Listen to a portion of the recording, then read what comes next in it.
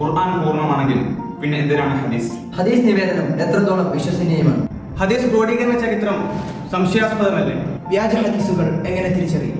ഹദീസ് നിഷേധ പ്രവണത കേരളത്തിൽ വീണ്ടും തലയുയർത്തിക്കൊണ്ടിരിക്കുകയാണ്. ഇസ്ലാമിക ശരീരത്തിന്റെ അടിസ്ഥാനം രണ്ടാമതായ ഹദീസിനെ നിഷേധിക്കുക വഴി ഖുർആാന്റെ തന്നെ ആധികാരികതയാണ് ചോദ്യം ചെയ്യുന്നത് അതിനാൽ ഇതിനെതിരായി പ്രാമാണികമായും യുക്തിപരമായും വൈജ്ഞാനിക പ്രതിരോധങ്ങൾ തീർക്കേണ്ടത് മുസ്ലിം ഉമ്മത്തിന്റെ ആവശ്യകതയാണ്. എന്താണ് ഹദീസിന്റെ പ്രാമാണികത? എന്താണ് ഹദീസ് നിഷേധം? ഹദീസ് നിഷേധികളുടെ യഥാർത്ഥ ലക്ഷ്യമെന്ന് ഹദീസ് നിഷേധത്തിന്റെ വർത്തമാനവും ചരിത്രവും ഉൾക്കൊള്ളിച്ചുകൊണ്ട് പ്രമുഖ പണ്ഡിതന്മാരെ അണിനിരത്തി അസഹറിലോ Islamic department S I O അസ്ഹറും സംയുക്തമായി സംഘടിപ്പിക്കുന്ന തൻഖീഹ് ഹദീസ് കോൺഫറൻസിലേക്ക്. തൻകീഹ് ഹദീസ് കോൺഫറൻസിലേക്ക് ഞങ്ങൾ നിങ്ങളെ സ്വാഗതം ചെയ്യും